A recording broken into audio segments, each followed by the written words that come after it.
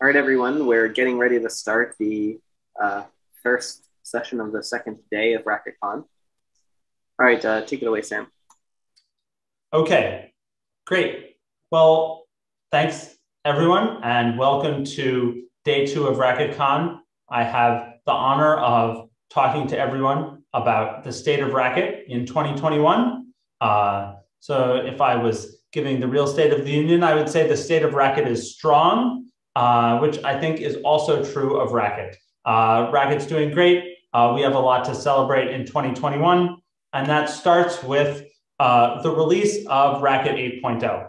So in the last year, we've released the next major version of Racket, which makes Chez Scheme the default uh, backend. That's been, I think, a huge success. Everything's working really smoothly, and we've successfully released on time 8.1, 8.2, and just yesterday, 8.3. So we should all be extremely pleased and proud with the work that went into this big improvement in the Racket ecosystem and the Racket uh, development possibilities and future. So let's all give ourselves uh, a big round of applause. Okay, uh, I think there's lots of possibilities that the creation of Racket on Chez opens up, and we're just starting to scratch the surface of some of those as they develop. Um, so there's lots of cool things to do, and we'll continue seeing the benefits of the development of Racket on Chez over many years to come in the future of Racket.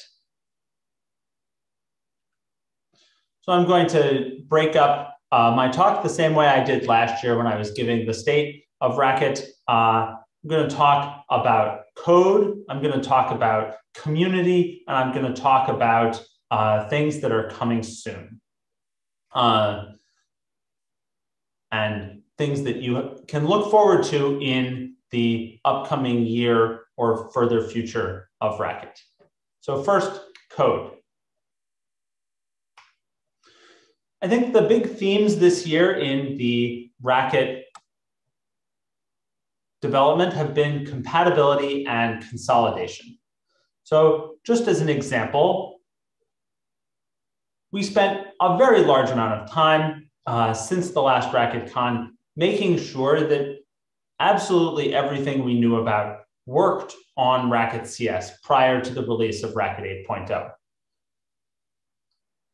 That involved uh, looking at a huge number of different packages, building every single package uh, that's made available in the Racket community. Uh, you can see in this screen that there were 75 packages that we looked at that had problems. We fixed almost all of them. Um, and uh, there's just a few uh, remaining that uh, don't work on Racket CS for various fundamental reasons. Um, of course, those packages still work just fine on Racket BC. Uh, and uh, I noticed just this morning while I was taking a look at this issue that two of them have now been fixed um, since the last time I looked. So compatibility continues to improve. We continue to see basically everything in our community has made successfully the transition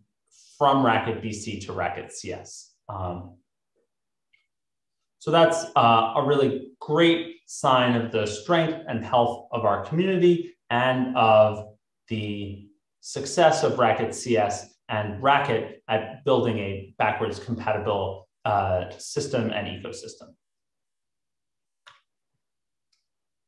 Another big improvement that we've spent a lot of time on is simplifying, making it easier to work with Racket.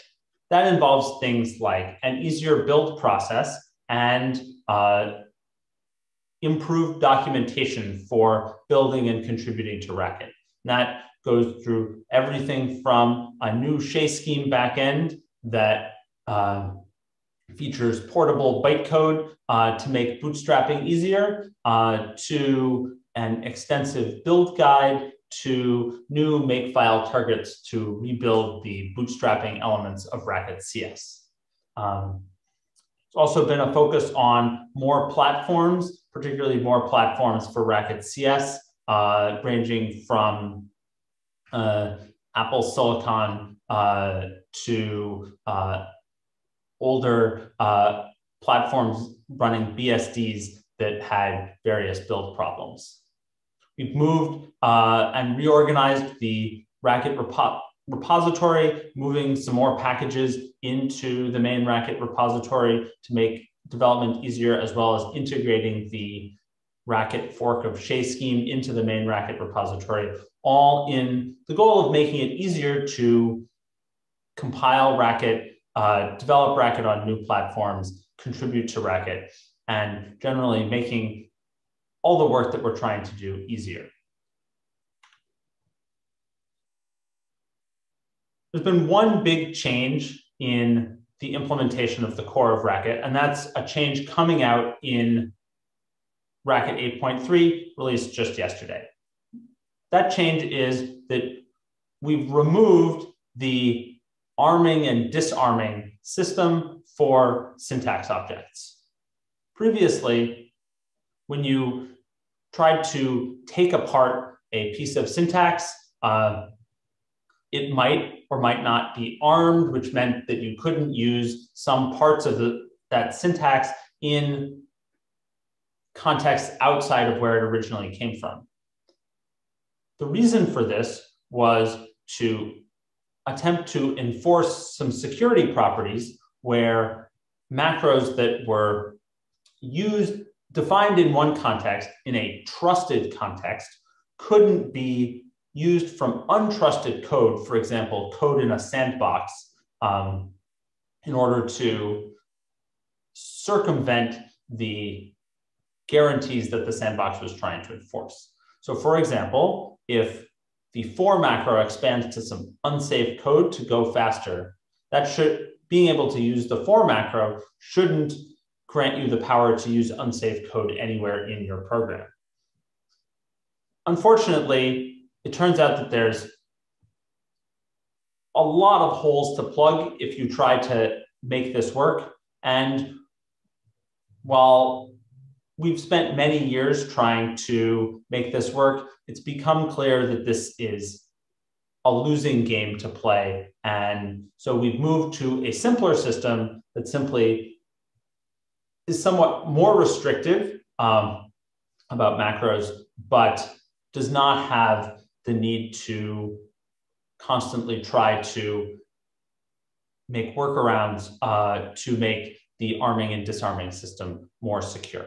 Uh, so uh, Matthew wrote a long email describing the details of this change, but hopefully the new system will be both simpler and more secure for people to use.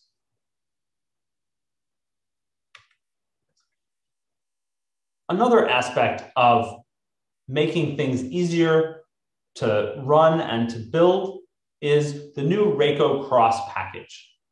Rako Cross is a new tool for installing and running variants of Racket. Now that can mean something as easy as running an old version of Racket easily with one line on any program you want. But it can also mean building uh, cross compilers compiling uh, programs that you have for other machines, for other architectures, uh, and uh, just a general way of managing cross compilation uh, and tooling that handles downloading, building, installing, and everything that you might want for you. I think as this tool continues to gain features and be more widely used, it's going to be even easier to build portable Racket applications for whatever platform that you want to build and to test uh, and run your Racket program on a wide variety of platforms uh, and for Racket versions. Of course,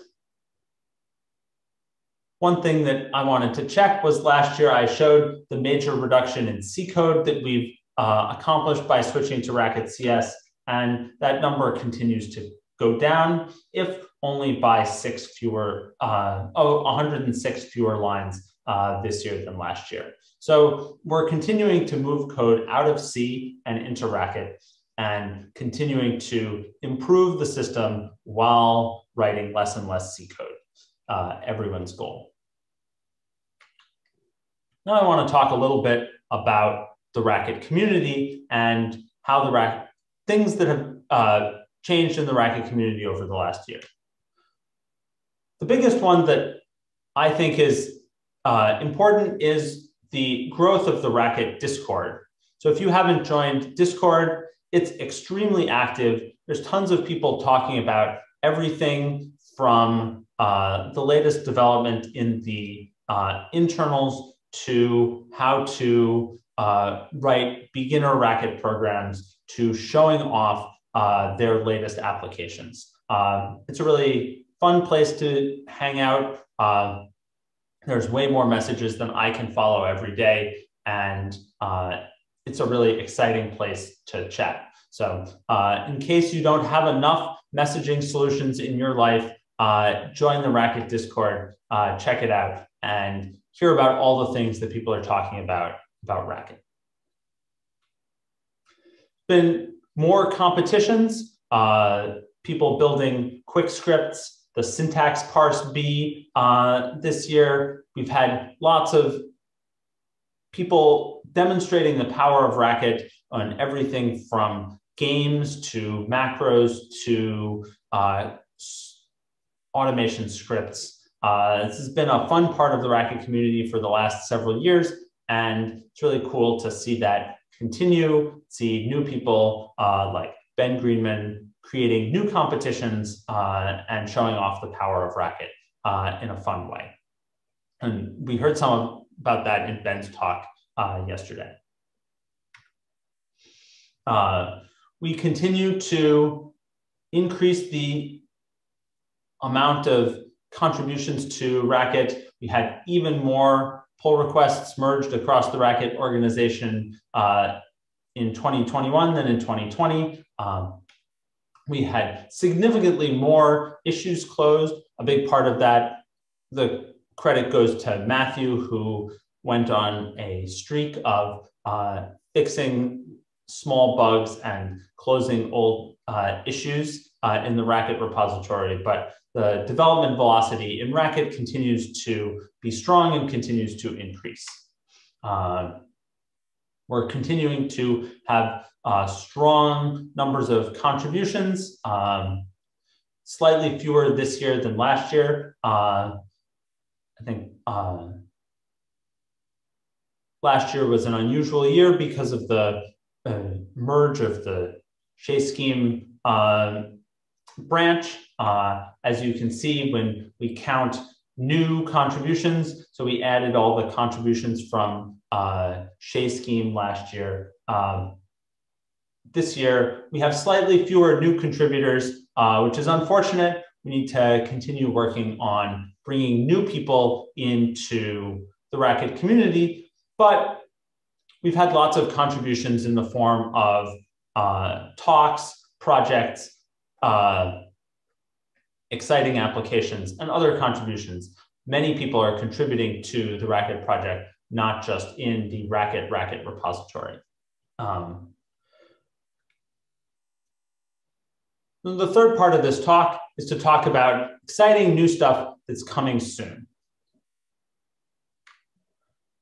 First thing I want to mention is yet another new way to talk about Racket. Uh, as, uh, as hard as it is for uh, me and other people who've been on the internet for much too long, mailing lists are no longer the most popular way to discuss things on the internet. And we've decided to create an additional forum using the discourse uh, software. So you can, in fact, go to racket.discourse.group and check that out. Uh, and uh, we're going to continue using that as uh, a way to asynchronously discuss Racket. Um, Discourse is a system that works well over email in addition to reading it on the web. So if you're the sort of person who funnels everything through your email inbox, uh, Discourse will work well for you as well. Um, so this is a new uh, and exciting way to talk about Racket. Uh, this is, I think, a theme, finding new places and ways to discuss Racket with our friends, with our colleagues, and with the rest of the Racket community is an important part of uh, broadening our community. Another exciting thing that's coming soon is a new expression editor uh, for Racket at the terminal. So based on the Chez Scheme, uh, REPL, uh, Matthews built the expeditor package that uh, does things like syntax highlighting that you can see here, parenthesis matching, um, proper indentation dependent on the language that you're using, and many other features. Uh, so there's lots of cool stuff uh, there, and there's lots of possibility for improving things further, um, whether that's uh, plugging into tab completion uh, or whether that's improving the editing experience um, or uh, doing more things. Uh, I think this is going to make the Racket read-eval-print loop experience even nicer than it has been. So last year I told you that transient Typed Racket was going to show up in the next year. Uh, this year I'm telling you that again, but uh, Ben Greenman's been doing really great stuff. It's really close to being done. And I'm confident that uh, next year we're gonna have uh, different ways of enforcing types at the boundary and Typed Racket with different performance trade-offs, including allowing you just not to check those types the way TypeScript does, or to check types in a shallow way following the transient approach to gradual typing that can really reduce a lot of the runtime overhead of using Typed Racket. Another exciting feature of Typed Racket that's coming is an actual kind system. Uh, so this is one of the uh, worst decisions that I made when developing Typed Racket is to not do this. And uh, Fred Fu uh, has been working really hard and built a new system that uh, fixes all these problems uh, in a nice way that avoids breaking existing code as well.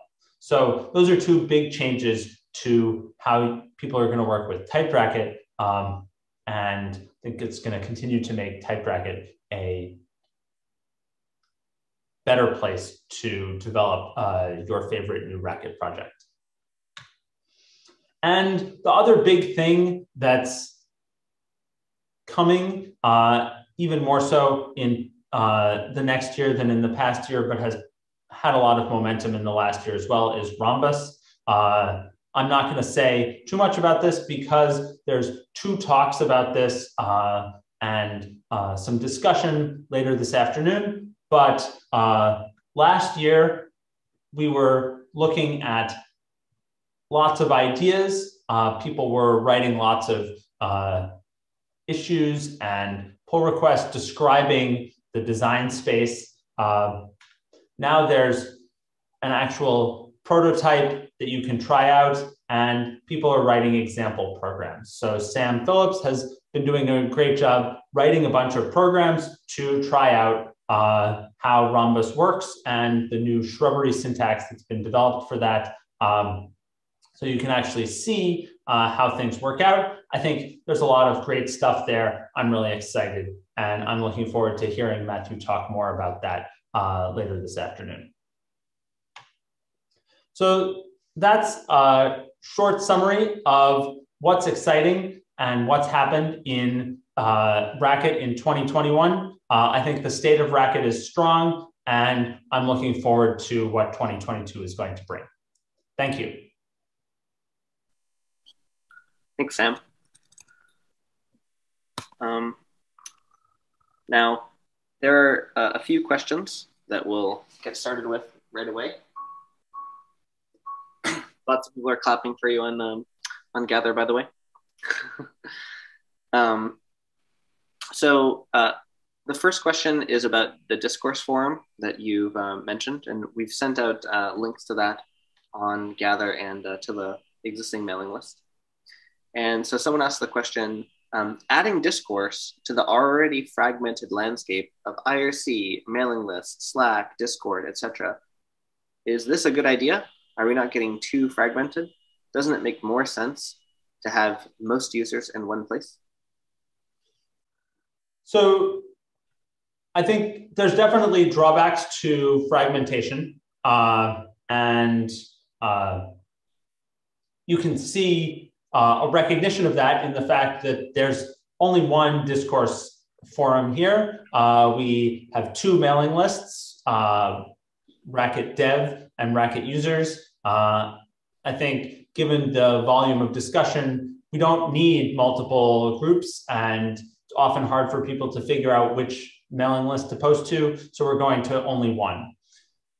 My personal hope is that we can move away from existing from the mailing lists towards discourse, but that requires community buy-in and uh, community adoption. If everyone hates discourse, then we're not going to get rid of mailing lists. But if we can uh, effectively uh, consolidate there, then we can in fact reduce the number of forums that um, everyone is using.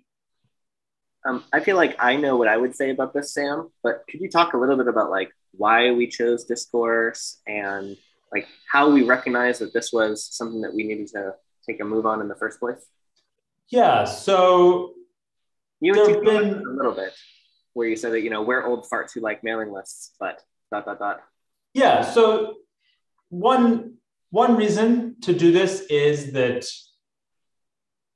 like anyone who's been on the Racket mailing list for a while, I've noticed that there's less mailing list traffic than there used to be. And uh, if you're on other mailing lists, you'll notice that that's a trend there too. Mailing lists are just not as popular and they don't provide the features that people are looking for. One particular feature that uh, our mailing list hosting uh, does not provide that Discourse can do a better job of is uh, spam protection. And people who are on the Racket mailing lists will have noticed that we have uh, had some serious spam problems, um, uh, in particular in Italian. Um, and so that's another reason uh, to move in that direction. Um, so then there's the question of why would we choose discourse?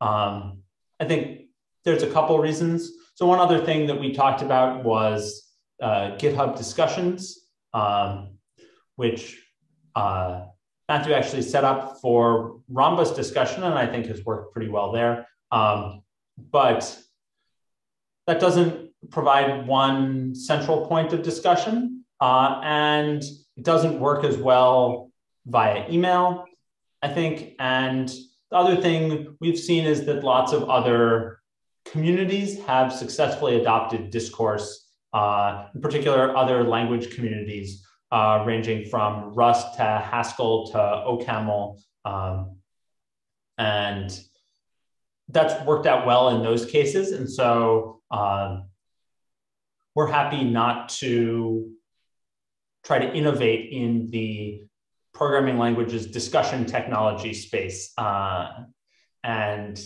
uh, to adopt best practices that other people have uh, already figured out.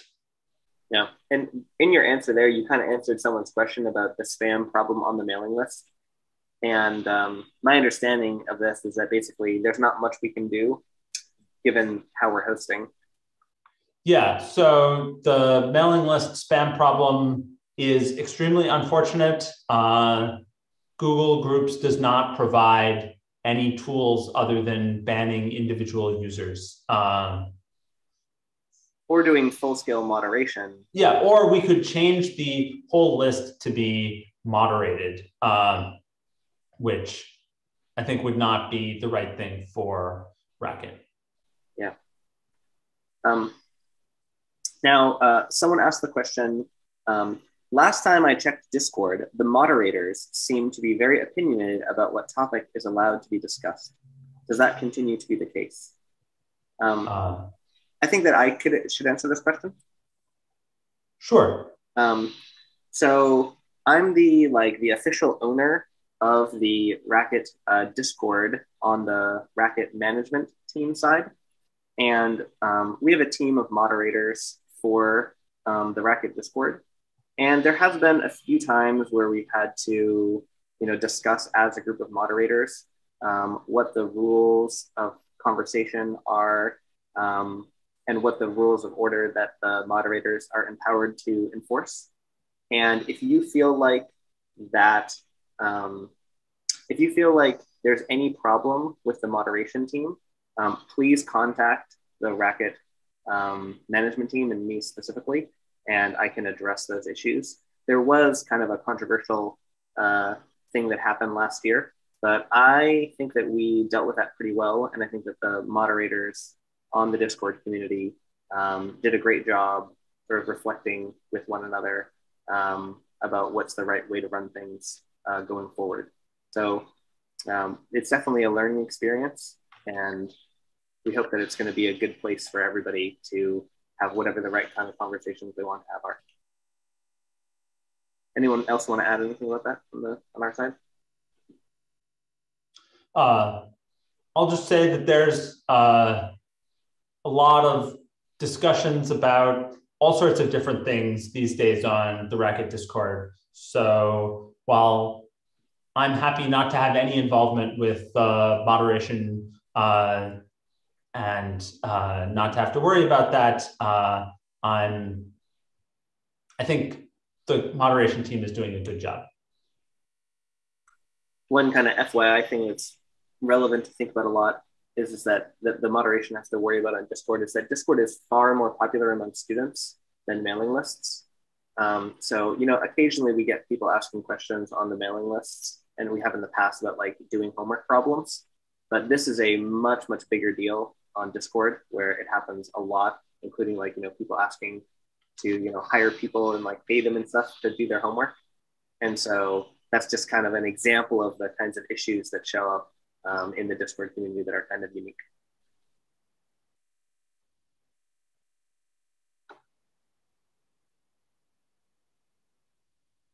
So um, those are the three questions that we've got so far. Um, Maybe we should just transition to our town hall and I'll uh, stop screen sharing here.